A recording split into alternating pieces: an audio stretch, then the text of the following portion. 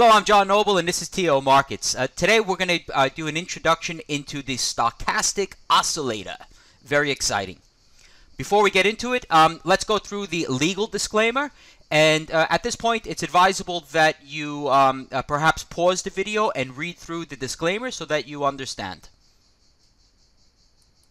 Okay, I'm John Noble. I'm a professional um, uh, a trader and an investor, and I'm sharing with you uh, my experiences and some knowledge that I've acquired over 21 years. I started my career uh, in New York as a financial advisor with Morgan Stanley. I qualified to manage uh, futures funds, commodity trading, operate commodity pools by the U.S. National Futures Association. I certified as a portfolio manager and investment advisor um, by the Cyprus Ministry of Finance. Stochastic indicator um, is a it's an oscillator, and what that means is it oscillates means it goes between an extreme low to an extreme high, and it helps us measure that where today's price had closed relative to the closing prices or values that is um, over a particular period. So um, it's a very popular um, uh, indicator which is used um, throughout technical analysis in various forms such as RSI. And again, it's a it's a momentum um, indicator. So it's displayed as two lines. There's a main line called the percentage K and a second line called percentage D. Um, percentage D is a moving average of percentage K. Don't worry, we're going to get more into it, and things will become a little clearer as we go through the um, uh, uh, the the current slides. So um, it does produce um, buy and sell signals, as well as it gives warnings or a signal or an alert that a trend may be about to end. So it's it's a it's a tool which is used that could help us um, uh, identify not only a buy and sell signals, but also when a trend is stalling or about to reverse, or a new trend is going to be uh, about to begin. So uh, let's get into it here. So, so the theory behind this indicator is that prices um, uh, tend to close near the upper end of a trading range in an in, in an upper in, in an uptrend. So let's let's go to our drawing tools here and let's look at say this this uptrend that's here. So uh, what is the theory saying? The theory is saying that prices here are prices tend to close higher in an uptrend or near its high in an uptrend. Fair enough. And in a downtrend, the opposite, that prices will be closing closer to its bottom or its lows. So the, the stochastic oscillator, which is shown below price, it it acts as a smoothing device let's put this, that's generating signals. Here we can see top on prices, top on the stochastic oscillator. We'll get into the more and, and, and how to read this in a minute. So as the trend matures, the tendency for prices to close away from the high of the session becomes more pronounced. So in a downward um, move, this would um, this would hold true as the opposite. So let's let's get into this because at this point it's still probably not that clear to somebody who's new to the stochastic oscillator, but we're, we're going to smooth it out for you. So the stochastic indicator um, uh, is, can be found on the MT4 under indicators, oscillators, because it is an oscillator. It's not a trend, uh, it's, it's an oscillator. And you have stochastic oscillator. So once you, you find that on your MT4, it will come up as such. Let's focus on this area. Here we can see price. Here we can see our stochastic indicator. And it ranges from 0 to 100%. So this would be 0 and then this would be 100%.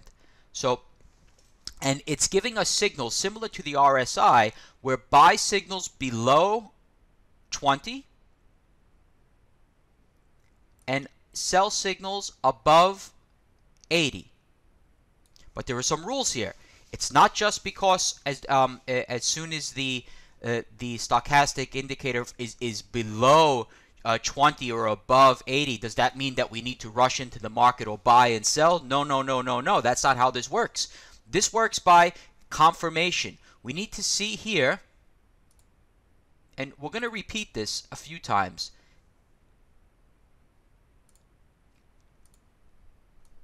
This is the confirmation here. You have prices above and below. On that second break is where we get a confirmation, and again, you can see it down here. So you wouldn't be selling on the break or buying on the break. You'd be below, you'd be buying on the break above. So a reading of zero shows that prices closed at the lowest level during a preceding time period. Let's say in this it's daily. And a reading of uh, 100% shows prices closed at its highest price during a particular period. So we have percentage K, which in our example, we're going to show 10 periods. So percentage K is a number of time periods. So it could be 10 hours or 10 days or 10 weeks or 10 months, whatever you put here. Um, a percentage K slowing periods, which will be here, where one would be fast, three would be slow. And then your percentage D,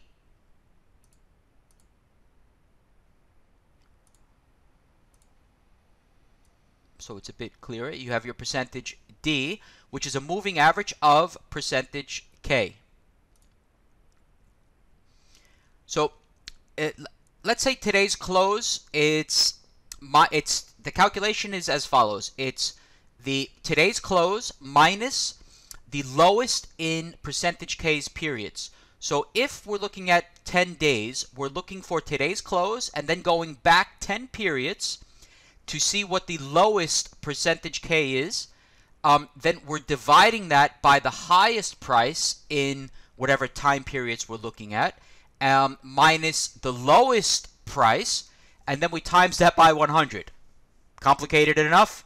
Um, well, if you were using pen and paper and doing this manually, yes. But if you were, um, if, if you're relying on the software or, or the um, uh, the processing ability of your computer and the MT4 platform, you don't have to worry about that because these calculations are done for you.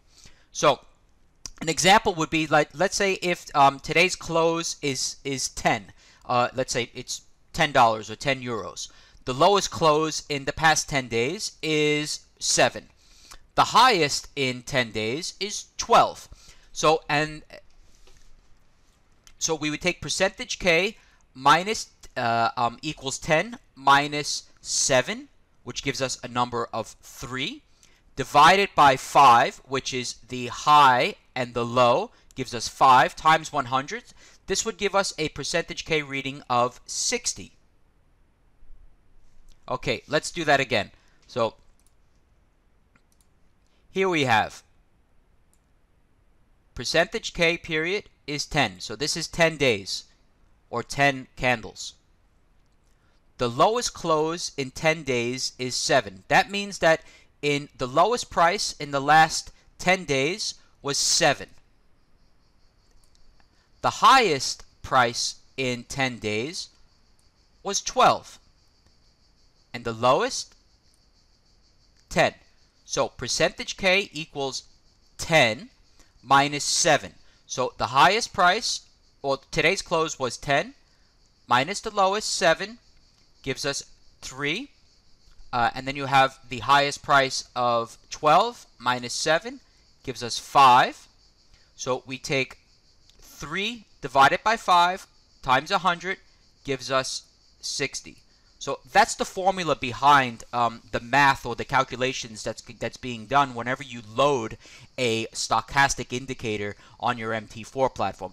Again, it's not something you need to know. The calculations are done uh, automatically, but um, it, it's it, it's to understand an indicator and how it works um, uh, and, and its signals. It's better to have a clear understanding of the uh, of of the calculation behind it. So let, let's put a bottom line to this and make it simple. So the interpretation is we're buying when percentage K um, falls below percentage D and then rises above 20. So, where's our buy? Our buys are going to come here. You're going to get an alert. This is 20. You're going to get an alert when the percentage K falls below 20. You're not going to do anything, but your buy signal will come when price breaks back above 20. So you're going to get an alert, and then you're going to get your signal. Again, here, you're going to get your alert, then you're going to get your signal. Alert, and then you're going to get your signal. Sell, it's going to be the same.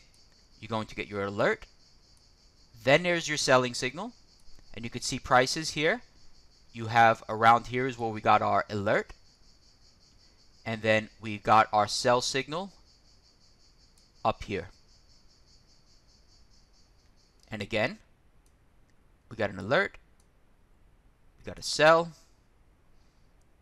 There's a bit of a whipsaw in there.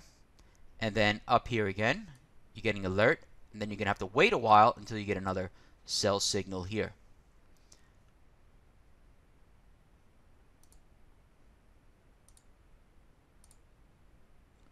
Buys.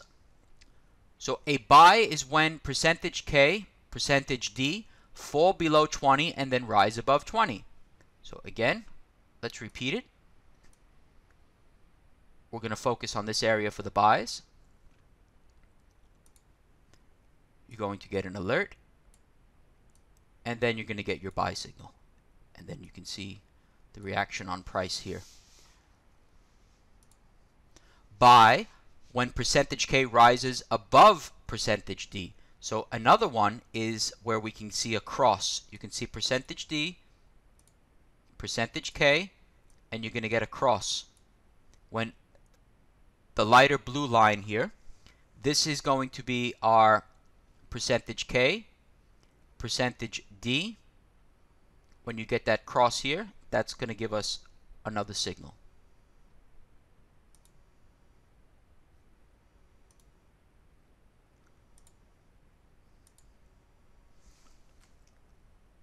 Sell signal is going to be the opposite.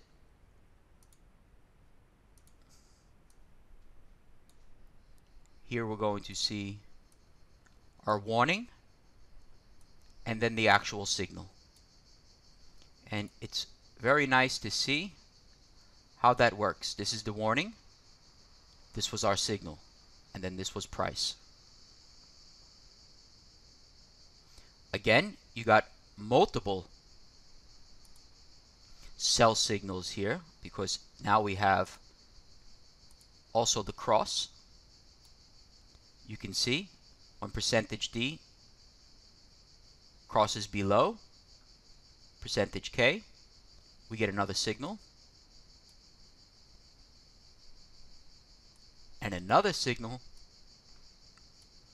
And it looks like where we are now is probably well, not yet confirmed, but perhaps another signal. So it's very nice. In a, in, in a situation like this, a trader might be looking to add to their sell positions or add to their buy positions.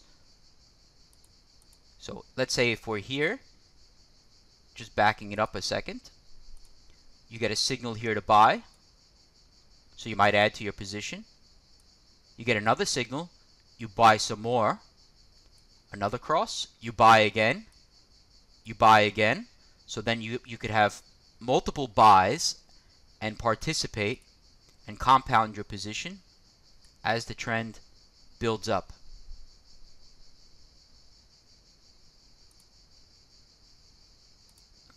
The same can be done for the downside. Here you're going to get a signal, signal, signal, and you can participate and compound that position to the downside to get the most out of the move.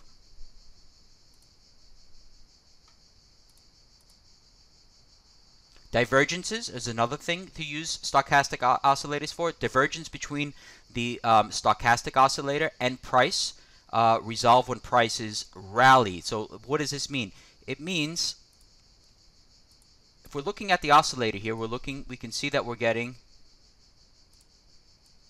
higher bottoms. Price isn't doing much. It's relatively flat.